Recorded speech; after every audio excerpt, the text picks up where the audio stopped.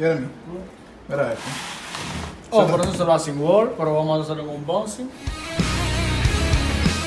En este video vamos a hablar de la comparación de nuestro equipo Ascend Word y Ascend Word Pro.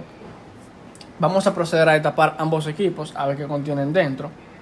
Podemos observar que tiene algo que lo protege. También aquí tenemos un manual de instalación.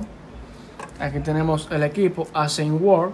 Aquí podemos ver un port out de salida, una entrada de, eh, de data.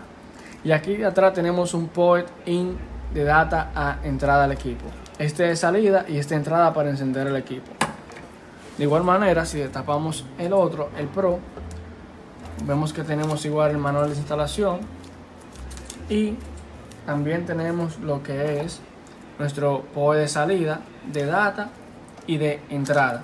La diferencia de estos equipos es que nuestro AC Word, el estándar, maneja una tasa de 1167 megabytes, mientras que nuestro AC Word Pro maneja una tasa de 1750 megabytes, es decir, que le lleva casi 700 megabytes por encima al estándar.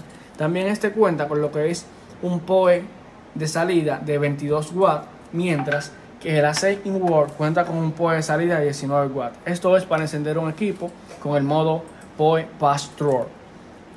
También este cuenta con Dual Band. El Dual Band del equipo es 2.4 y 5 GHz. En 2.4 proporciona un dBi y en 5 GHz proporciona 2 dBi.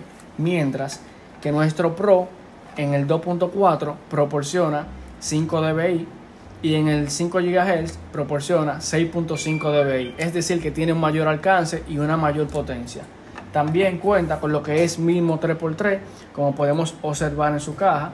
Aquí vemos la tecnología de wireless que tenemos y el mismo 3x3, mientras que nuestro Assyrian Word es MIMO 2x2, solo en Addison Comercio.